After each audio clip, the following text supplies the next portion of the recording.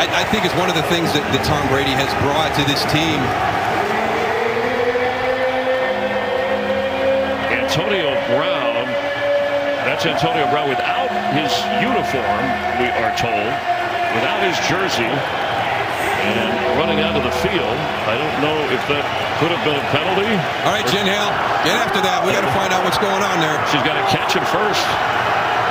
It's unbelievable. He's had his issues off the field. Now he's on the field creating an issue. Low pass hauled in and good enough for the first down.